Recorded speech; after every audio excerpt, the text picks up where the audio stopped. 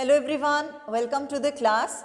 In today's lecture, we are going to talk about the site of photosynthesis.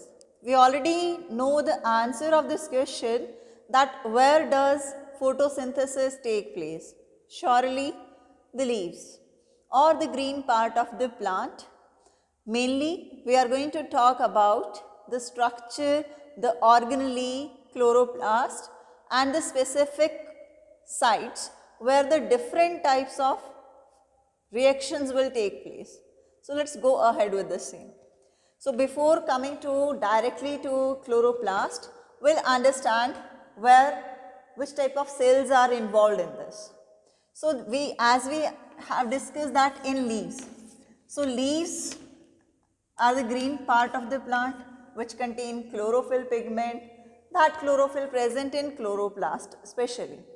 So if I am going to take the cross section of this leaf and observe this under the microscope, then I am going to observe the special type of the cells arranged in this. So these special type of cells which are present over here are abundant in chloroplast. They are abundant in chloroplast. So these kind of arrangement loosely arranged cells are there.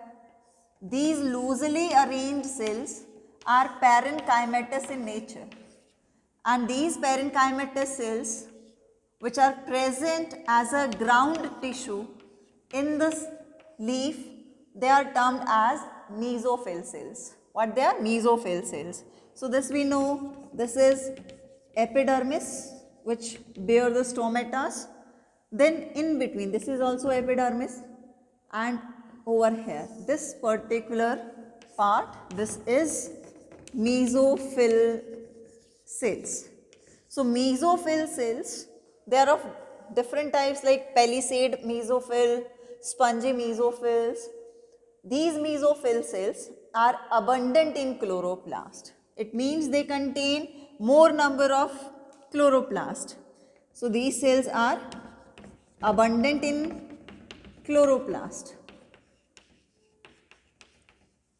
And in these cells, chloroplast arrange themselves at the wall or at the side of these cells so that maximum amount of sunlight can be trapped for the process of photosynthesis.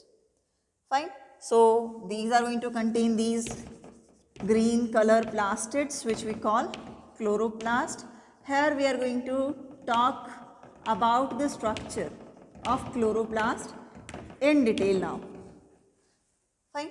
So this chloroplast under the chapter cell we have discussed, we will see what are the exact site for different steps of photosynthesis. We know this is a double membrane organelle contain a green color pigment which is specially present in these structures which we called thylakoid which we bundle of thylakoid is granum.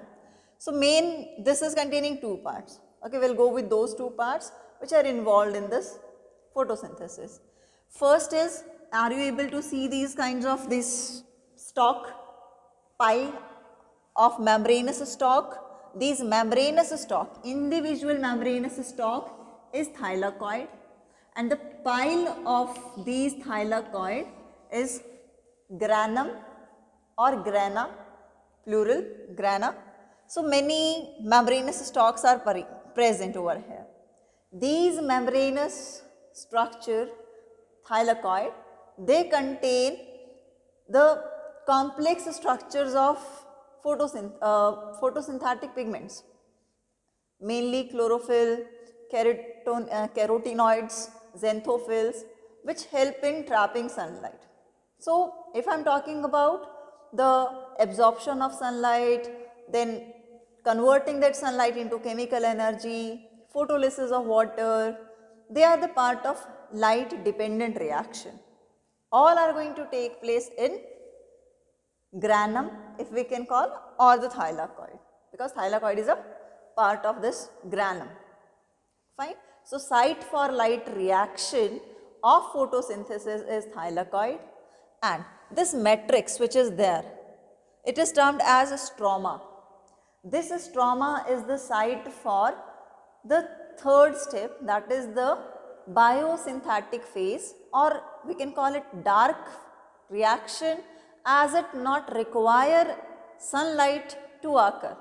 It does not mean it is going to take place in night or in dark, no. It is non-light dependent reaction. Got it? It depends upon the product of light reaction that is going to take place in the stroma. Got it? So, stroma is the site for dark reaction that is exactly the reduction of carbon dioxide into carbohydrate and thylakoid are the site for light reaction that is breaking water molecule into oxygen and the proton molecules, proton atoms. So, that will be taken up further by the enzymes, reductase enzymes are present in this matrix and so on the process will be continued. Got it? So, there is a clear cut division of labor in the chloroplast. Different structures are involved in different processes.